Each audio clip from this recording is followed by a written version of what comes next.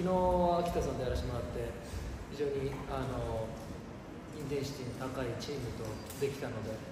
やはりこう B1 のねあの激しいプレッシャーとフィジカルっていうところがあの昨日の試合で課題になったので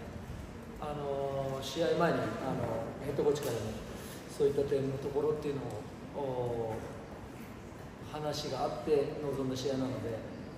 あのチーム全員でねあの体を張って特にディフェンスの部分は非常に昨日よりも、えー、成長できた部分があるのかなと、まあ、こういうプレーを続けていくことで去年のプレーオフで負けた悔しさっていうのがまたいい習慣ができてですねあのいい結果に結びつくと信じてやっていけたらいいなと思います。はい。そうですね、まあ、あのもちろんね、DJ のこの爆発力というか、あの前半で20点以上取ってましたし、まああいったところというのは彼のポテンシャルですからあの非常に素晴らしいパフォーマンスでしたし本当にこう打ち切るというところがシュート打ち切るというところができたのが一番この点数が伸びたところかなと思いますね。あと自分たちがしっかりと昨日の反省を生かして、えー、プレーの遂行力という部分で、まあ、シュート打ち切る入る入らないもありますけれどもあのプレーの一つ一つのなんていうんでしょう決まり事というのをあの細かいところまで遂行できた結果がこういったスコアにつながっていると思うので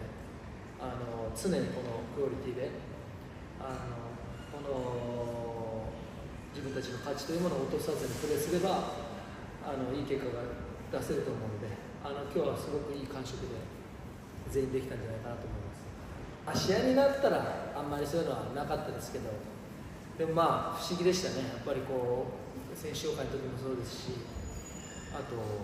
まあ、彼らがね会場に入ってきた時とかもついこの間までね同じユニフォーム着てやってた選手が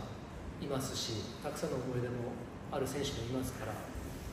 やりづらいはなかったですけど、まあ、不思議な気持ちはやっぱりありましたね。僕も結構長くキャリアやらせてもらってますけどあまりここまで同じチームメイトがいるチームっていうのはないのでまあ、うん、あんまりいい表現が浮かばなかったのであんまり発しちゃいけない言葉に発しそうだったので言わないですけど不思議な気持ちでしたね難しいですねピークをここに持ってこようって言って持ってこれるものではないので全員が全員同じリズムで生活してるわけでもないですしそれは個人個人のピークっていうのもあると思うしチームとしてのピークっていうのがもちろんプレーオフに持ってこれれば最高ですねそれは。でもそこまでマネジメントしなきゃいけないのかもしれませんし勝つためには。それが果たして可能なのかは別として、はい。まあ、確かにその途中何練習したんでしょう20練習ぐらいしたんでしょう違うか、まあ、分かんないけどなんか練習しましたけど、まあ、そこがピークと言われてしまえばそうなのかもしれませんね。ただそのまま本当に突きは、ね、あの突っ走ってチャンピオンシップまで行ってチャンピオンシップのあチャンピオンシップを取ってたらそんなことは言われなかったはずですから負けなきゃいいって話ですね。負けないように頑張ります。はい。まあトランジションオフェンスが速くなったというところとあのやはりこうああいったまあ見てもらったままですけどプレッシャーをかけるっていうところ。でほとんど今セットプレーもやってなくてかなり流れの中だけで今オフェンスやってこの今結果なので非常にいいところにはいると思います。し常にミーティングでもそうですしどこでも去年負けた試合のことをケビンは言うので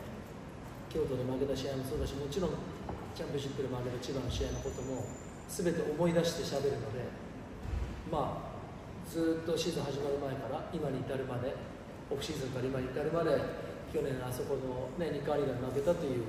映像はもう切れることはないので今年のシーズン終わるまでねそれはもう常にあそこでリベンジするあの舞台に帰ってあのチームを倒すまあもう他のチームを倒す。っていうところが僕らの今年のモチベーションなのでそれはまあ崩れることはないのかなと思いますまあその練習練習の間隔が短いかなって感じですね。こう切り替えが早いというかあんまりこうダラダラしてる時間もなく次々次と練習が進んでいったり、まあ、あと選手同士でこうハードルを組んで自分たちで話し合ってプレーするっていう時間もこう全てにおいてこうキビキビと動いていてでもちろんその練習内容っていうのもトランジションが結構多いですね。なんかハーフコートで何かをやるっていうよりは常にこうアップダウンの練習っていうのは多い。まあでも去年も別にあったはあったんですけどね。ただその意識づけとしてさらに今年は、えー、意識させるような練習だったりこのプレシーズンの試合見てもらってもそうですけど切り替えっていう部分とかその意識づけの部分も相当変わったと